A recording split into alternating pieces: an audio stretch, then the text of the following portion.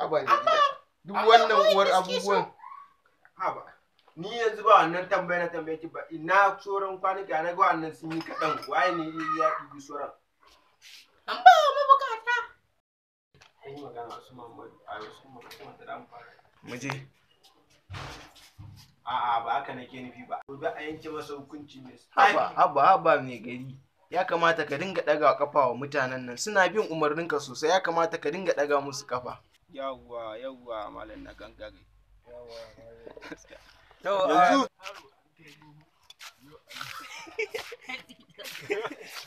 Kai ba. mu je. Malam na gangan ya ka abin da kamar da harajin almajiran ka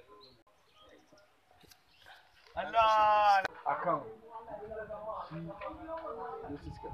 Ranka shi daɗe wannan dan sake dama ɗin nan. Dama ranka shi daɗe wannan shine malam aminu. An same ka an gaya ma. An ka fara daman ya zo ne ɗauki ɗansa. An tsaya mintuna shin dakata. Tsawon lokaci da na yi ina kan eh, karagan mulki a garin nan. Ban taɓa ganin wannan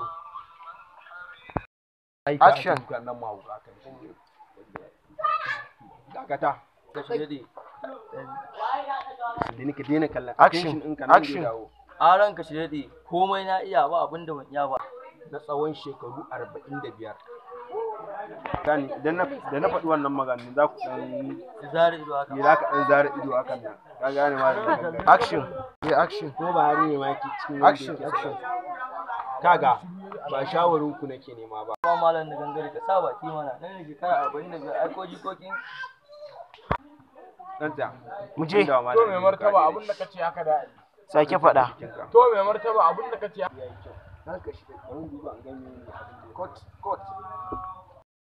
action. Ya taya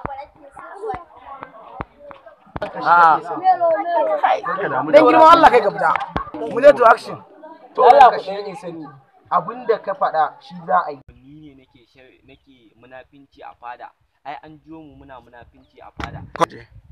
Ai mu ne muke munafinci a fada don haka zai tafi da ni da ƙyan na ba shi haƙuri ba wani munafunci a fada dan Allah nan kuma ina ne haka nan ba ba prison inda prison wai sorry kai nan kan ba prison inda kai yi stay Kaga- Ta fara.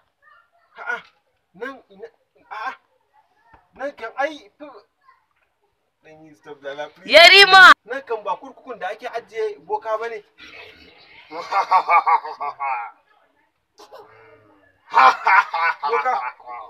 Ba. Kana san dariya ne.